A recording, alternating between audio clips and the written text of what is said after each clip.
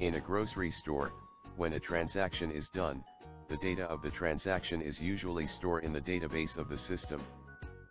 The data stored inside the database sometimes never fully utilize and are only archived for the sake of safekeeping.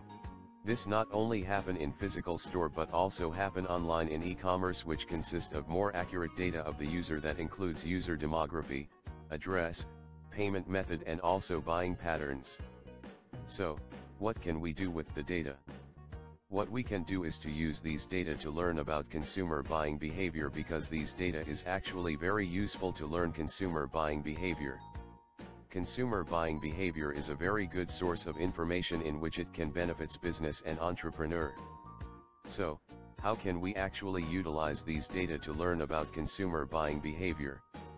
From many of the methods, three of the methods that are able to learn about consumer buying behavior includes clustering, a priori and also artificial neural network. These method uses data mining technique in generating information based on the data available. A priori is a method to implement for predicting what is the among consumers common item. The principle of a priori algorithm is association rules. It uses iterative approach search through the database to generate all item set that shown up frequently. Here are benefits and drawbacks of using a priori. For the benefit, it is easy to implement and for the drawbacks, it requires more time to scan the database if database is large, other than that, a high specification computer is needed to run the algorithm because of the limited memory capacity to store all the data set. Clustering is a multidimensional statistical way to study the online consumer behavior. The main task of cluster analysis is to group or classify the objects into groups or clusters of similar characteristics. Hence, the properties of the objects need to be determined to characterize them. There are also some ways to differentiate between the similarities. There are a few algorithms in clustering which is DB-scan, expectation maximization and k-mean. DB-scan is a density-based clustering algorithm, given a set of points in some space, it groups together points that are closely packed together, points with many nearby neighbors, marking as outliers points that lie alone in low-density regions. The drawback for using it is that it failed to produce the meaningful outputs even the parameters were being adjusted in several attempts. The EM algorithm is used to find maximum likelihood parameters of a statistical model in cases where the equations cannot be solved directly. The outputs showed the number of clusters produced was quite consistent and the frequency of individual clusters was also acceptable. The drawback for using it is that it requires both forward and backward probabilities. K-means clustering aims to partition n observations into k clusters in which each observation belongs to the cluster with the nearest mean, serving as a prototype of the cluster. The drawback for using it is that the number of clusters is hard to be determined. Artificial neural networks, ANN, are forecasting methods that are based on simple mathematical models of the brain. They allow complex nonlinear relationships between the response variable and its predictors. A neural network can be thought of as a network of neurons organized in layers. The predictors form the bottom layer, and the forecasts form the top layer. There may be intermediate layers containing hidden neurons.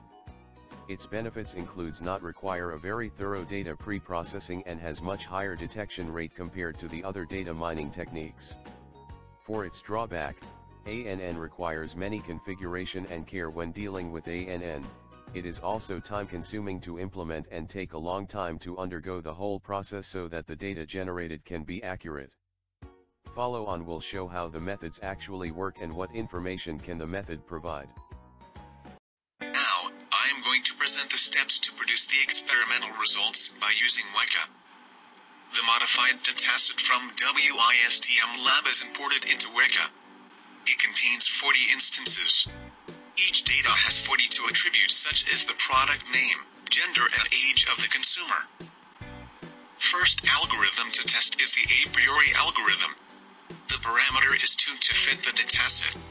Then click start button to run the algorithm. Based on the result above, rules are made to show the inherent regularities in the data. The rules are presented in antecedent, then consequent format. The number associated with the antecedent is the total coverage in the dataset.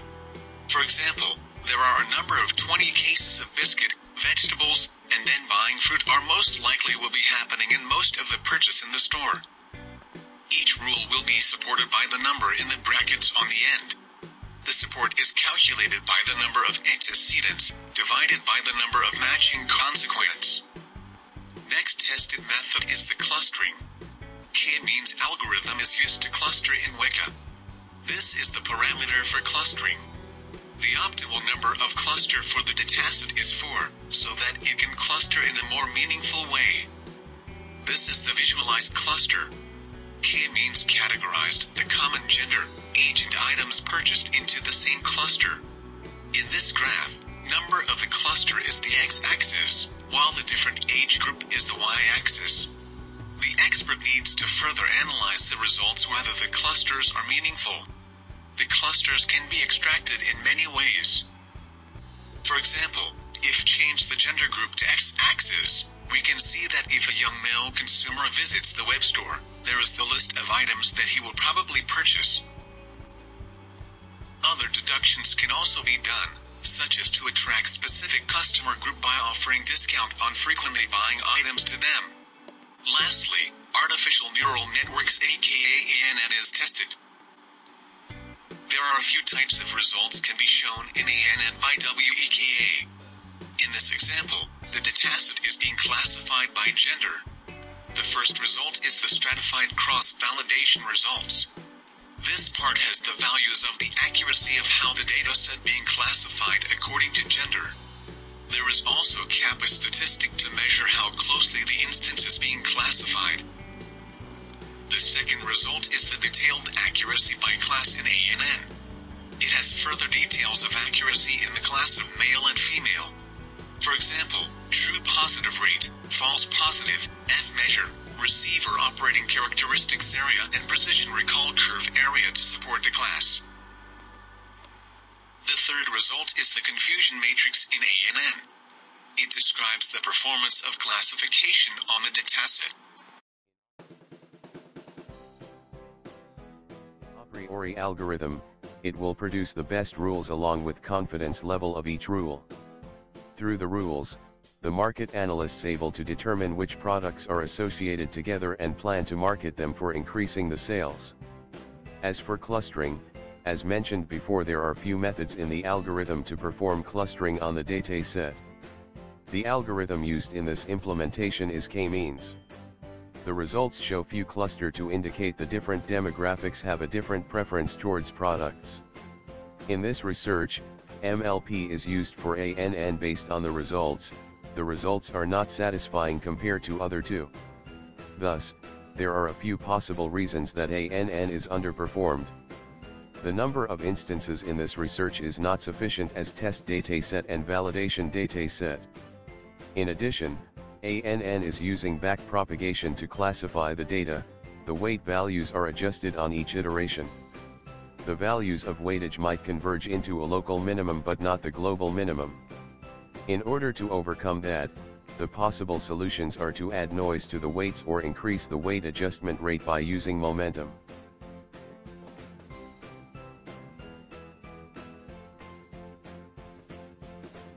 All three of the method indeed can generate results from consumer data and these results generated can be used to know more about consumer behavior. However, a priori unable to determine item that associated together with characteristics such as demographic. Furthermore, only in a priori and ANN have support values to increase the reliability of the results. In conclusion, all three of the method able to determine consumer behavior for a priori algorithm, is convenient and much simpler as it can work only with transaction data. Whereas clustering, considers other aspects of purchasing goods such as demographic aspects. ANN is quite complex and required many instances to get an accurate result from it.